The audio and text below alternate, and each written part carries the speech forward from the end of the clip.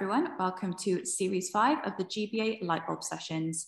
The Great British Entrepreneur Awards, in association with BT Skills for Tomorrow, have designed a free live stream series of Lightbulb Sessions to support small businesses and entrepreneurs with insightful and advice-driven sessions, featuring some of the UK's brilliant entrepreneurial minds to illuminate your path to entrepreneurial success. You can find out more about BT Skills for Tomorrow by heading to their website at www.bt.com forward slash skills for tomorrow or by clicking on the link in the comment section. In this session, we'll sit down with Will King, founder of Sustainable Businesses, Above and Beyond, and King of Shaves, and Earth Care team lead of Lush, Tali Davies. Will and Tali will share their top tips and advice on how to make sure that the packaging of your products are sustainable to phase out the plastic.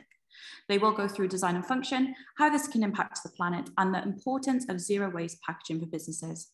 There is an opportunity to ask questions during this session. If you have a question you'd like to ask, you can pop this in the Q&A function at the bottom of your screen, and we'll do our best to answer these towards the end of the session.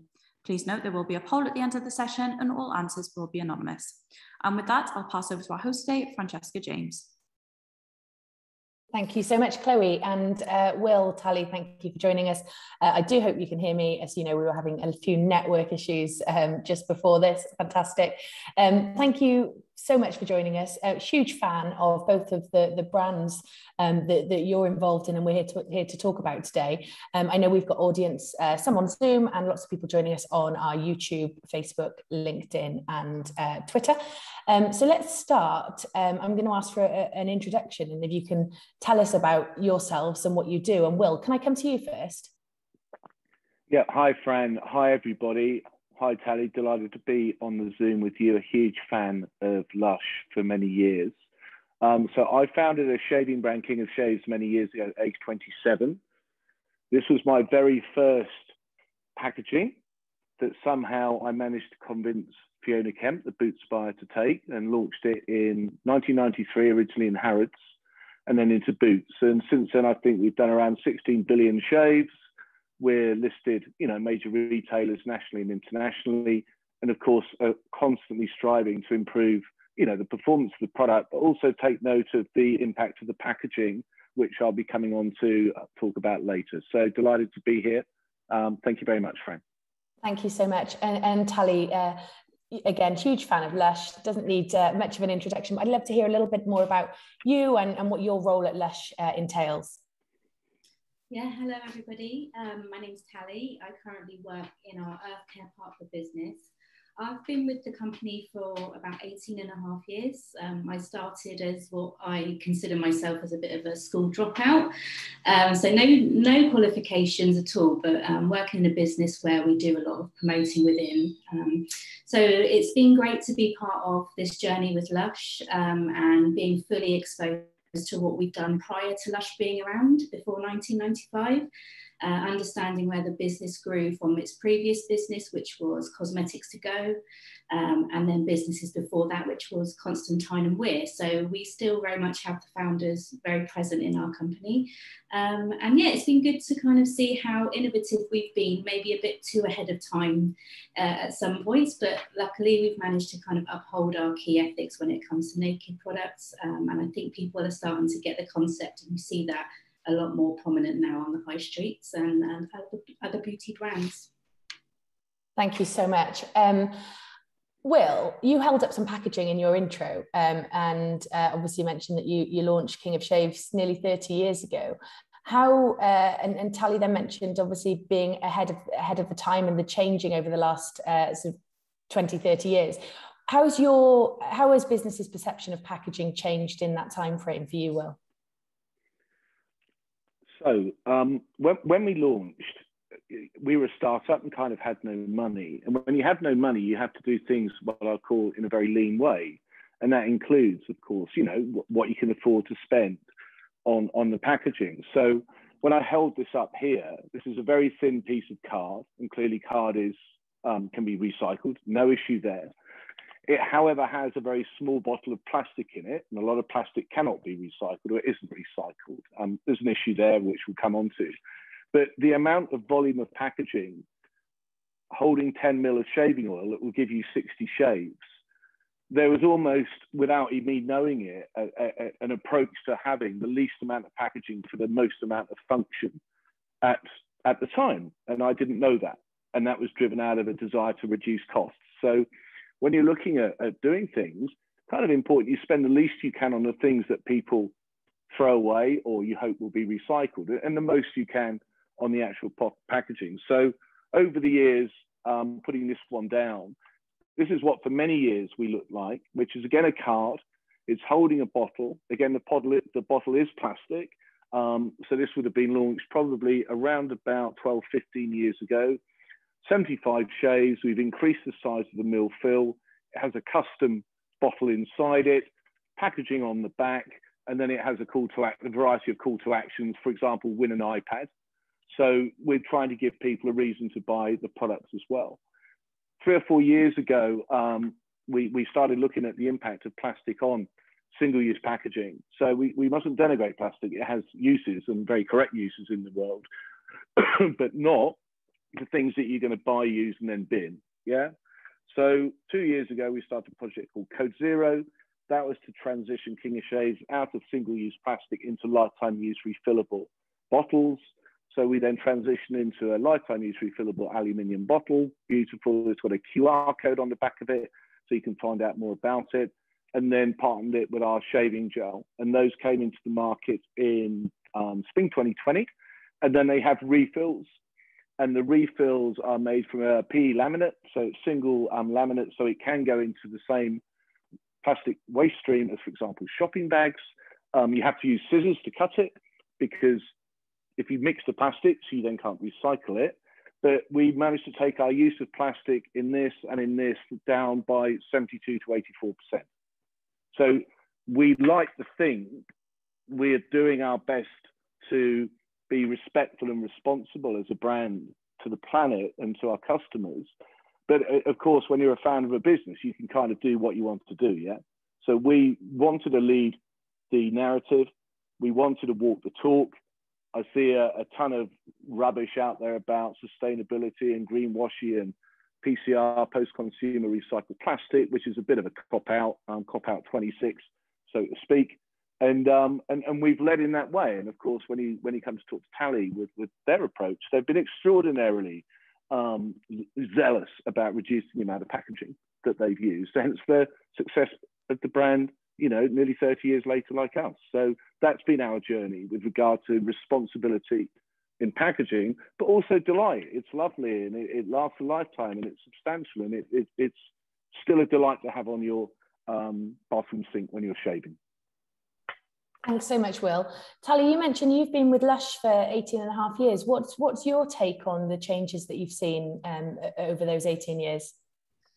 I think for me, there's been um, a lot of things that have been consistent. Um, as I mentioned earlier, Lush have kind of been a bit too innovative at times, ahead of the times with solid naked products. And it's really now that people are kind of getting that concept. So seeing those sales um, driven by being naked products that you know are effective. See those increase have been great but also changing our mentality towards packaging. So for us packaging matters. Um, packaging can be great. Packaging can be such a great way to kind of expose and present the brand. And i think what we've done in lush here is that we have made sure that we want to stick to the branding that we want. We want the products to be shown in their real state. We want the naked ranges, but we appreciate that consumers still sometimes find those naked ranges a little bit too out there and want their typical bottle or pro, uh, product in a pot to put in their bathroom. So it does have to look good, it has to be functional.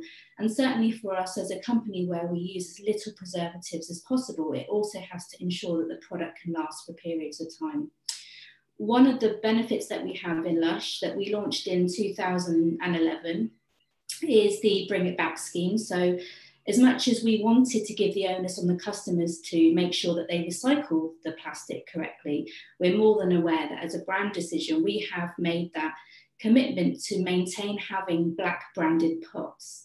We know, though, that that does have an issue within the recycling industry and how that cannot be detected. So what we've decided to do is maintain that, but close loop that waste stream. So we invite the customers to bring those pots back and in return, historically up until now, they've been given a free face mask to reward them for the efforts. But where we want our customers to bring all of our packaging back, the reward for that is 50p off per packaging bought back on your shopping within Lush. We're given a commitment to the customer to say, please bring your packaging back and we will do good with it. And with that, then that follows into what we have is our Green Hub here in Poole in Dorset. And our Green Hub is the facilitation where we take all of the ownership of our waste management from the customers sending back their pots and bottles, but also our manufacturing processes as well. So what we do here is we process all of the plastic, whether that's PET, HDPE, LDPE and black pots, which is PP, we wash, we granulate, and then we send back to our supplier to make that back into black pot. So it's 100% recycled, a really lovely closed loop. And what we hope to do in the future with our revamped uh, relocation of the Green Hub is to really invite the public and the customers to come along the Green Hub, see that waste can be great, and to see the whole cycle in, in all of its glory of the pot coming back from the customer, that being granulated, and then seeing the process of that being made into another black pot. Thank you so much, Tali. It's it's fascinating the, the journey that both of you have been on. Tali, part of your role um, ensures that Lush adheres to environmental legislation. Could you um, could you give the audience a bit of a an overview in um, in terms of what packaging needs to do from a legislative legislative point of view? Yes, so in terms of my role, um, it's very much manufacturing focused. So it's making sure that all of the operations that we do is carried out in the right way and that we don't pose any risk on our local environment. But on a wider scale, there's a bigger team that works on from a brand perspective. So we have individuals in our team who have worked out our climate strategy to come to net zero for the next 20 years. Um, we've got people that live and breathe protesting and uh, activism to really shout about that message across uh, to the business. In terms of the packaging, uh, there, there, are various things that we're looking at, and I know that loop is quite prominent nowadays in terms of like the refill. Um, we're looking at how we can use less energy within processing plastic that comes back to us. So, you know, is it right that we we use our shredding services that obviously use a lot of energy, but is there a way we can be really good water stewards and use water to wash as opposed to energy having to then use all of that to recycle again into a new pot? So for us, our key principles are the, the product and the pot have to be functional.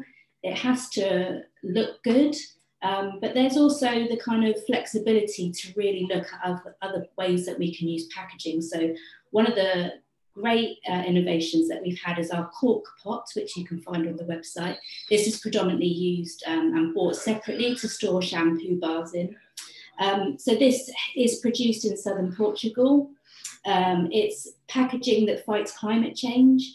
Um, it's 100% natural. It's climate positive. It's uh, carbon positive, and also the, the group that we work with on that. They also support rewilding um, within the area as well. So that's more than just being sustainable, that's being regenerative. Um, and that kind of links into our, our phrase of that we, we talk a lot about in Lush is leaving the world lusher than we found it. So using those resources, but making sure that we give back to leave the you know the natural environments better than we found them so we very much pride ourselves on that regeneration Thank you so much, Tali.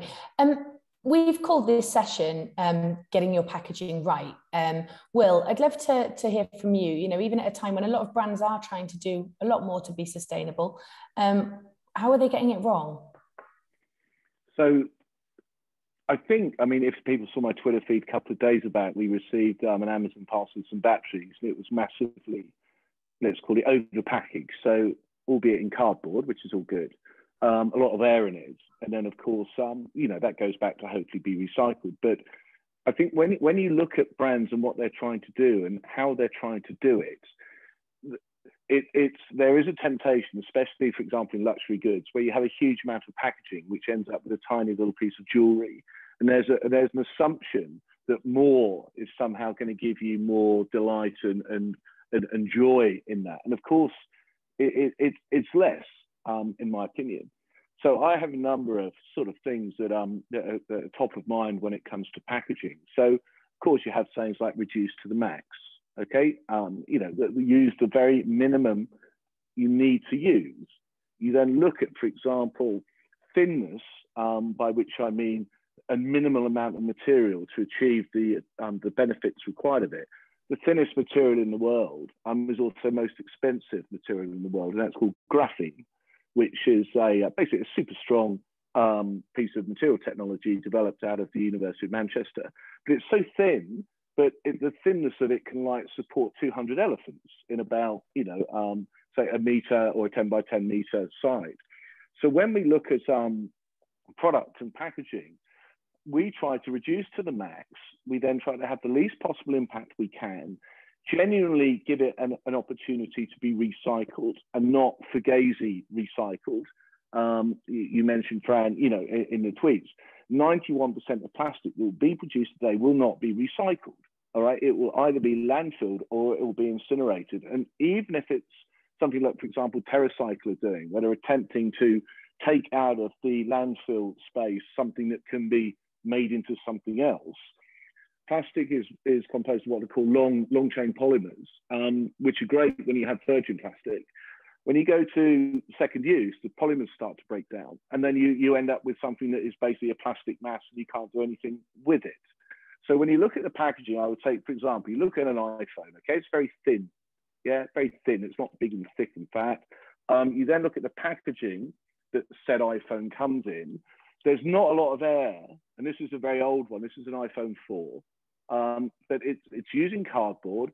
It's it's displaying the product. It has some um, you know lovely gold um, sort silver foil on it. But when you open it, as you see, it drops down.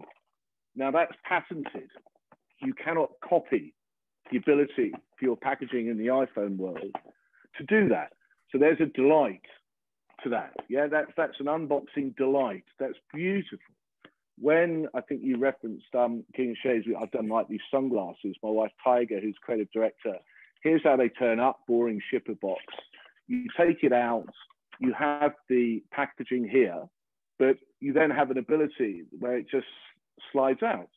So we've kind of taken what iPhone are doing in the luxury brand, taken that into sunglasses, put it into a similar format, not in a boring box. It's got two parts to it. They're both recyclable. The ink printed on it is um, is natural. It's not got um, you know, it's not got metals in it. And again, it has a certain delight to it. And the unboxing, just finally on the above and beyond brand, the, the lifetime use refillable lip balms. Again, you have this comes to your letterbox. It says the name on everyone's lips will soon be on yours. It's a lip balm. You undo it, it's got a nice presentation of, of the planet and you're smiling. It's got the container. It's got the, the um, compostable refills that are made from wooden plant substrate. They compost in nine months. No plastic, zero plastic. The very minimum amount of packaging that we can do, both for this one and the refill pack, which will be going out soon. Again, a similar thing, QR codes. It's about really looking at the impact this has versus the necessary um, use of the actual lip balm itself. And then the material in this, aluminium, wonderful material. Aluminium, when melted, goes back to smelted, goes back to aluminium, as does gold. Other ones don't. Steel doesn't. It's a composite. Um, iron doesn't. Other materials. So it's a simplicity and a materials usage, as, as Tali was explaining, um, for the product. That's important. But the packaging, it's got to have as little or zero or positive impact on the planet, again, as Tali said, with regard to her cork, um, which are net carbon positive. So that's kind of a little summary of how we go about doing things. Yeah. What about you, Tali? Have you seen any uh, examples that you'd like to sort of call upon of, of, of when um, people are getting it wrong? Obviously, with the session today is about getting it right. So pitfalls are, are always useful as well. Yeah, I think, you know, I think as we've all come out of this, well, still in the global pandemic and how online sales have been, I think that's definitely been an eye opener in terms of what we receive from different brands and, and how they don't utilize their packaging enough or cater to the items that they're selling. I think we need to change the narrative a little bit. I think there's been a lot of talk on that plastic and pollution and waste, but plastic and packaging can be great if it's designed correctly. Um, what we need to kind of factor in is that the cost of packaging is factored into the, the price of the product that you're buying. And we really need to make sure that with um, Will's example there of the, the products that you have is looking at those packaging items as an asset for the customer and using that method of being able to refill or send back to be refilled or send back to be recycled i think it's having those solutions in place i think what i find is that there are a lot of brands now that are kind of jumping on the TerraCycle side of things i think what does concern me is that it's very much um, open to all so as will you were saying about mixed plastics there's a lack of transparency of really knowing what's going on with that plastic as well. Although that there's a solution for everything, the method is not as transparent as potentially we would like as a brand. We kind of focus on transparency and being able to be honest to our customers. I think as well for us here in Poole in Dorset, we know that recycling rates within our council are poor we know that their recycling rate here in Dorset is 12%. However, being committed to trying to make a change and investing in our recycling hub that we have, we have full control on what we do with anything that is designed to be sent for out of life, so end of life, sorry. And we know that our recycling rate as a business is 85%. So, on a much smaller scale, we know that we are doing great things. And what we're hoping for is with our relocation and kind of changing our, our uh, processes slightly and widening our closed loops that we can invite the public, we can invite people from the waste industry, we can invite people from the cosmetic industry and be part of what we call a cosmetic and waste revolution to really understand how we manage the waste streams and to hopefully that be a call of action to young people or people within those industries to really pressure their beauty brands that they potentially might buy from or their local council. So yeah, I think there's at the moment there seems to be a lot of jumping on the uh, TerraCycle bandwagon, but a severe lack of transparency in knowing what their processes are. Thank you so much, Ruth. Can we can we move on and talk about um, design and functionality and how that um, marries up and, and, works with sustainability? Um, you know, is it achievable without taking on soaring costs that might risk putting a small business at a brand? And I'm uh, I'm doing that here. You know, I've got my uh, um, above and beyond uh, lip balm from Will, and I think that actually, you know, this is this is one of the most beautifully designed products I've had in my pocket um, uh, in a long, long time. So I'd love to get both of your thoughts on on on that. Um, did you want to go first, Tali, or should I go?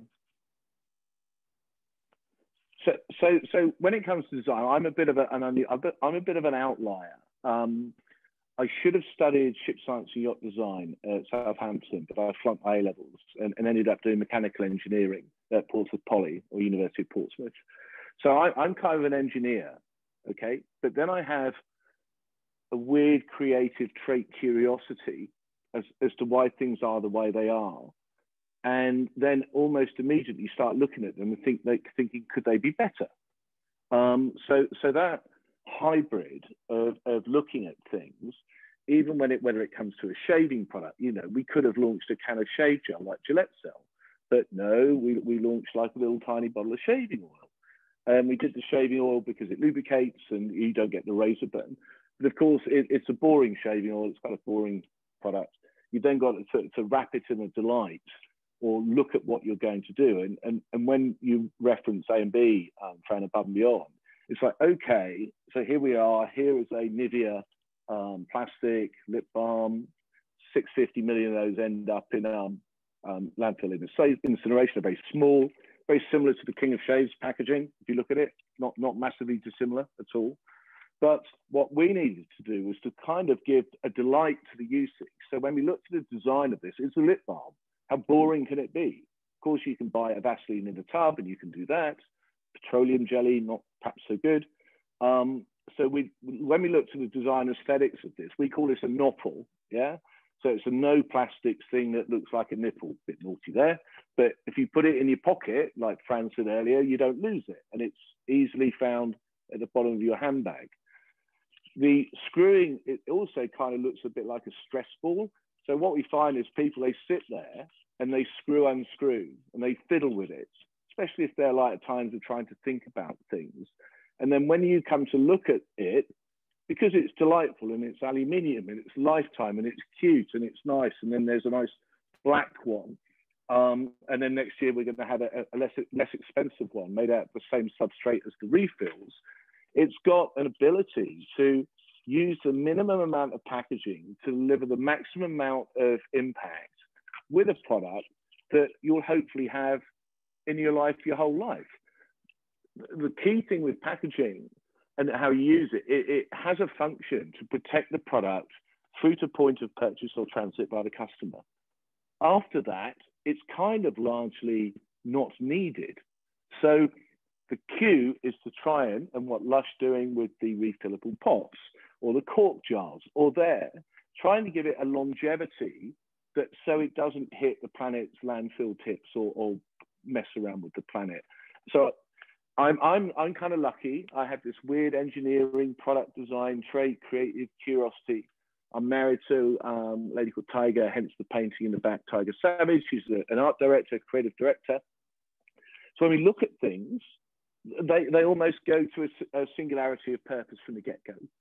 And if you can do that with your brand or product, don't just do what everybody else is doing. She might get what they're, they're getting, which may not be so good, try and look at things through a slightly different lens, a different narrative. Again, exactly as Tali was saying, Lush being a bit ahead of the curve, black packaging can't be recycled, very challenging, let's shift that, etc., etc., etc. And then take in as much knowledge as you can. Thank you so much. Tali, did you have anything to add there? Yeah, I've, I've just noticed some of the questions um, in the chat. So, uh, in terms of what we want the packaging to do in terms of design is for us can be quite challenging because we are a company where we don't use a lot of preservatives and our products, as we say on our shop windows, is fresh. So they do have, a, you know, a, a life, end of life. We don't want uh, customers using products that could last potentially years on end. So it can be quite challenging to make sure that the packaging works for the product. So within our fresh face mask, there's no preservatives um, within those and they only have a shelf life of 21 days. So we need to make sure that like from an engineering perspective that that product is designed airtight and the plastic doesn't then react with the product to then cause issues, which we have experienced over the years. Going back to refill, I think is a really interesting uh, thing to discuss because I guess when you look back to maybe 1940s, 30s, the 20s, there's a generation of people that were used to reusing, whether that's their shopping bags. You know, you see tomato ketchup, they've always used glass. Um, and now they are also part of the loop uh, system where you can refill your ketchup bottle. So the refilling is definitely a, a preferred option. It's less energy intensive. It's obviously then giving that narrative to the customer that their packaging matters and that it's an asset to them and that they can go and get out to the high streets and refill as and when they need to. For us, it's definitely been a challenge with refill. It's something that we tried years gone by, um, but we feel that we're at, at a place now where we can refill and we are looking into that in terms of how we do that in store whilst also trying to ensure that we give the customer great experience on the shop floor as well. There's so much out there. There's so much that uh, kind of it, it, does make you wonder how does a customer kind of navigate their way around to buying the right product. As Will has mentioned, there's a lot of greenwashing. Um, you know, there's a lot of words that are being used that kind of make people feel that they're doing the right thing, but you know, it's not always the case. So so yeah, I think a lot of it is down to communication, and I think if you are a, a, a independent retail brand like we are within Lush, that we have that ability to be able to engage with our, our customers. In terms of kind of making packaging look amazing and how that can be challenging. In years gone by, we had a sister company called B Never Too Busy to Be Beautiful, which was our kind of sideline to makeup. Um, and the makeup was stunning. We had very few shops, um, but they were kind of at places like in central London, Covent Garden. And again, it was something ahead of its time where it was in this beautiful packaging it was all very kind of like Hollywood glam looking and these like Indian um, handcrafted pots. But 15 years ago, it just wasn't something that people felt that they could spend the money on.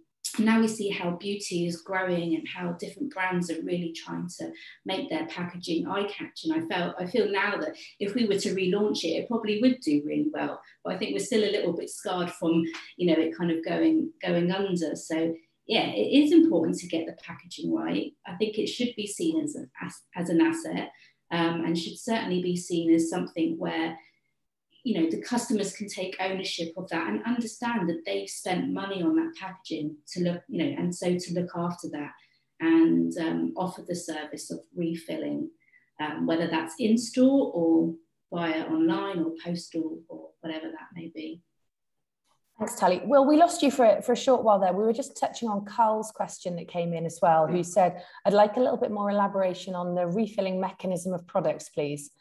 Uh, yeah, so so I just took myself off to go and find some examples, perhaps, of that. So I thought that's what you'd done. Um, when you come to refilling, clearly your product has to be designed to be refilled. Okay, so you need to look at that from the very get go. And, and when you look at the above and beyond, um, mantra called Unscrew the Planet. My wife Tiger wanted to call it Unfuck the Future, but we thought that might be a little bit of edgy in terms of getting boots to list it. Um, but let's go Unscrew the Planet. If something can be screwed or unscrewed, it can be reused. Okay, it's likely it can be reused. If it's a push-on product where it snap fits, which are much less expensive to make because of the engineering and manufacturing of them, um, they're, they're, almost likely single use by use bin. Yeah. So unscrew the planet. Then you have a mantra when it comes to refilling. I'm a big fan. I'm not a big fan of sustainable. I'm a big fan of responsible. So I've coined the phrase FMRECG, fast moving, recyclable, refillable, reusable, reimagined, um, reinvented um, consumer goods. And then you've got to apply that mantra to product packaging. So, for example, if you're in the business of selling shave um, products, you can do a shave bar um, the soap. Here it is. Here is your wooden holder. You refill it. Um, you use it. Okay. The issue with that is not so many men use that type of shaving substrate. However, when you come to deodorants, for example, which will be one of Above Beyond's um, future product launches, let's look at Dio's. So for years, here is a well-known brand. Um, it's a push-up deo. This is entirely plastic and it will almost certainly entirely go into landfill or be incinerated. That's bollocks and ridiculous. Can't be having any of that. What will we launch? We'll do a beautiful aluminium um, lifetime use refillable where you unscrew it. Here's the refill. This is a 3D rapid prototypes, a piece which is in tooling at the moment. That will be made out of the same substrate as this that I'll come on to. You pop it in, you screw it in, you use it in your pits, then it's got a QR code on the back to reorder it. So no, first time anybody's seen any of that, so don't screenshot it. Um, and then when you come to the, the design of the of the refillables, again, this is plant, wood, binder substrate, um, it, it composts. You could actually use this lip balm just like that without the container. Yeah, we've chosen to keep it brown because it's natural. All right, we can color it with natural colorants you could sell that as a product and it will be less expensive, but it, it doesn't have a screw thread on it because it's very difficult to do the screw thread tolerances of that. Um, so we put it, we choose to put it into the, um, you know, the refillable container. You pop it off, you pop it in, you screw it up, take it off, protection, use. But there's a lot of thought and engineering and reduce reduce, reduce, reduce, reduce um, to be a responsible brand and manufacturer. Whereas the easy option is make it in plastic, make it cheap shit, dip shit out of China, ship shit, ship loads of it. Not good. And, and the companies that will continue to do that will be the kind of companies that will fail in the future because they won't have embraced doing things differently to get a different a different outcome. So designed to be refilled, reused, and reduced. That's the mantra you must start with, not just make it cheap and sell it much as you can. Fantastic, Nathan. I hope that that answers your question. Um, Perky Blenders, possibly the best uh, coffee name I have ever come across, uh, and, and fantastic team too. A, a great British entrepreneur, uh, alumni member. Um, I wanted to to um, come to you and and uh, the question I've got is that sustainability as a journey has been used quite a lot in recent years. I know that you said that you know you, you prefer to talk about responsibility rather than sustainability, but do you think that um, we'll reach a point where sustainability responsibility can no longer be a journey for brands and that they need to be achieving it from X point? yeah, look, I mean, I make this if people follow me on LinkedIn or they see the post on my Twitter or the commentary that I give. There is no saying in the world which says, with great power comes great sustainability. It's a bollocks word, yeah? It, it's like there's nothing in life that's sustainable. We're born, we live, we die, and life is not sustainable. Yeah, the sun burning away in 93 million years, it might implode itself, and that isn't sustainable. However, it's kind of a nice sort of friendly, yeah, I'm sustainable, me, very good, congratulations. Um, responsibility is a much harder word. With great power comes great responsibility. Um, it's a much harder word. It's, it's a word that people kind of think, oh, hang on a minute, am I being responsible in my behavior? Anybody can be sustainable, yeah? Anybody can do that. But it's, it's a fiction word. So when you when I talk about this and coining FMRECG, um, or the importance of responsibility, or look at what you're doing and why you're doing it and what you expect them their output to be. As, as a brand founder, with my name in my product with King of Shaves, but I'm able to narrate and talk about things without fear of being sacked by my board of directors. I, I can I can articulate what I want to do and why, and nobody can tell me not to. And as long as I believe responsibly um, in my heart of hearts, I'm saying the right thing. I'll just wait for the world to catch up with that. Yeah. But I want to be helping them get there. And that's why I think it's super, you know, important and, and relevant what Lush are doing, where, where they've gone about this almost from the get go with as minimal packaging as natural as you can, as few preservatives. Let's not fuck with the planet. Let's not screw it up. They're one of the brands that, you know, haven't screwed the planet. Tons of others have, yeah and, and they're going, oh my God, Will King, he's taking King of Shaves. What does it mean? And, and they're all following. I can see it. obviously I see use my LinkedIn's and all this stuff. And, and gradually, we want to be the guys that are leading a change to responsibility and, and just sack off this whole sustainability greenwashy space. But that's just my little, you know, tirade on that. Be more responsible, and um, sustainability will come along with you for the journey. That's a great answer. Tali, have you got anything to add to that? No, I, I mean, I think that was uh, perfectly said. I, I agree. I think sustainable, being sustainable isn't enough.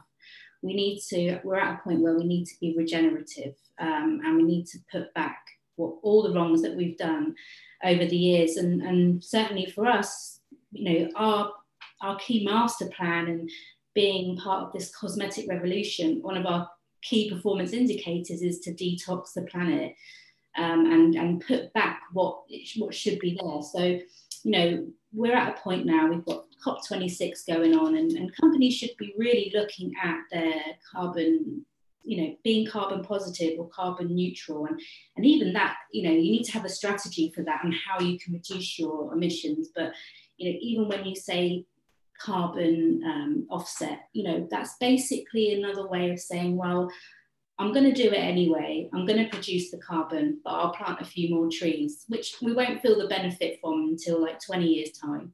So we need to be doing something. And I think for us, the cork pot is a lovely example of that and that it can be done um, as well. So, yeah, regeneration uh, is certainly what we kind of try to follow. And the luxury of, of Lush is the fact that we take ownership on everything we do from the sourcing of ingredients. We go visit um, the communities and make sure that everything is, is in order. They're being paid fairly, they have access to medical. Um, there's no middleman kind of uh, making money out of a, of a, you know, a natural source and it's being done properly. Look, I think we could be here um, all, all, day talking about this, and I'm really, uh, I really wish we were. We've had a question come in from Alden, who's, who's popped a few bits in, in the chat. What approach can we take to challenge the government over its definitions for the plastic tax? Um, so he's expanded, I believe the current plans plant, uh, plant-based compostable packaging will be taxed in the same way as virgin uh, plastics made from fossil fuels. What are companies like King of Shaves and Lush doing to lobby this type of policy making and lead the sustainability agenda? Who'd like to take that big question? oh.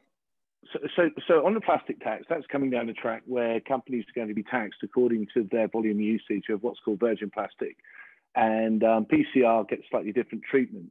But for some ridiculous bollocks reason, people have taken plastics um, as to be not just fossil fuel origin, originated plastics, i.e. byproduct of oil, um, which Charles Sutherland, the Plastic Planet, would say is the oil industry's big guilty secret. So they want to, as people use less oil in making petrol, they want to make more profits making plastics. That's not very good.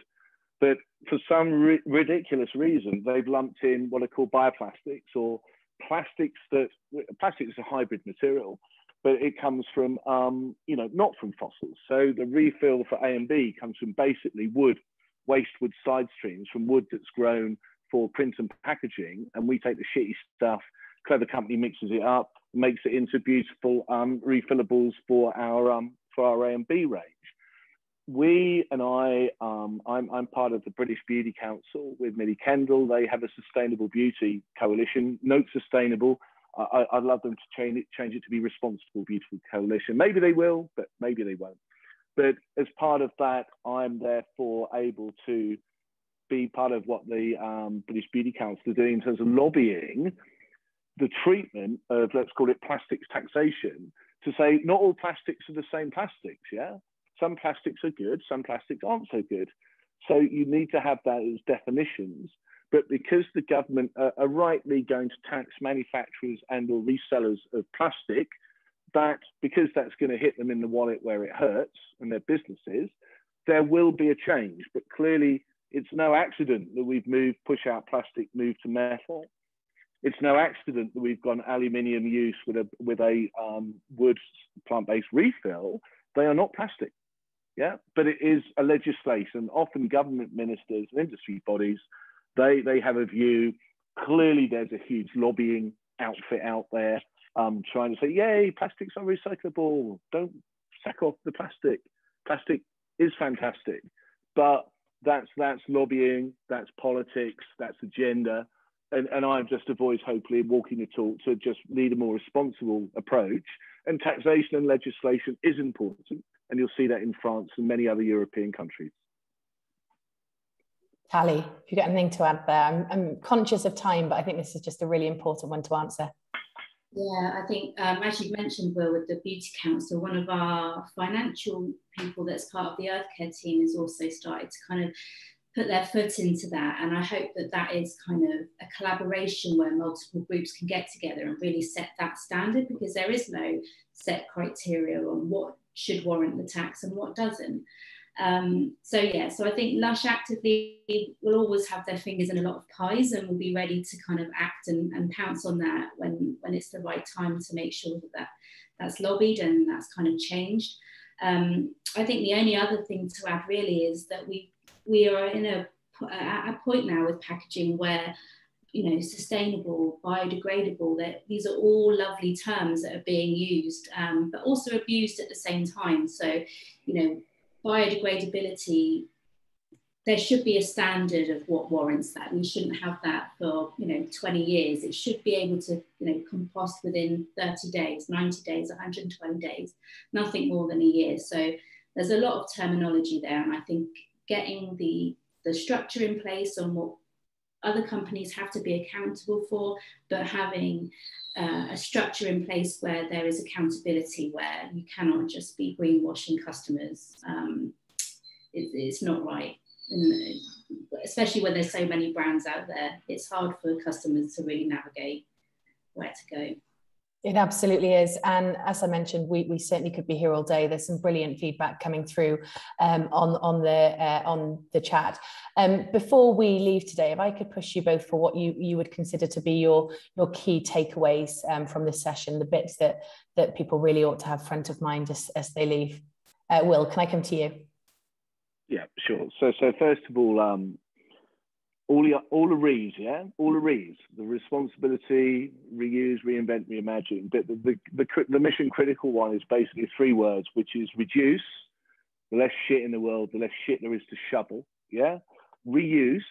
So keep reusing the same product, your refillable water bottle made out of aluminium or, or, or a, thing, and refill where you can because it, it, the mentality we've sunk into in the past 30 years since I've been, I was born in 65 alive. It's only come along in my lifetime, the Bayou's been yet. Before it was like refill your water bottles, milk bottles, sort of meat from the butcher in paper. It's a convenience, and obviously consumers will, will go there. So reduce, reuse, refill. However, with packaging, it is a thing that, that sells your product to the customer. So it's got to have design, function, and delight. Okay, and design, function, and delight. And then finally, just um, be aware that whatever um, you know you're consuming, it, it, it, it, it doesn't want to hang around after it's being consumed. So, so just respect the planet um, and, and think about the impact that you're having with your products and just go and screw the planet. So those three sort of things would be my key, you know, sort of, if you, if you don't listen to anything else, all the rees, bit of delight and don't fuck the planet. Thank you. And Tali, yeah, um, I think just use your money wisely. Uh, there's a lot of companies where, whether they're small independent businesses or, or huge, that are really doing some great work, and you know, buying carefully can really help to contribute that. Um, ultimately, as a consumer, you're paying for that You, you're paying for that packaging. It's factored in the the cost price of that product. So you know what you purchase and consume make sure that that packaging can be reused and beneficial to you um, so that factors into the refill you know reuse um, and just make it work for you long term uh, you know there is a lot of businesses out there and i think that there is a lot of greenwashing and I, um, the uh, ethical consumer is a really good guide to use in terms of what brands to go to if we really want support or help on, on who is doing great things, whether it's with packaging or their general ethics. Fantastic. Thank you both so much. It's been a, a really fantastic discussion, um, loads of great comments. Um, thank you so much for supporting uh, this entrepreneurs community.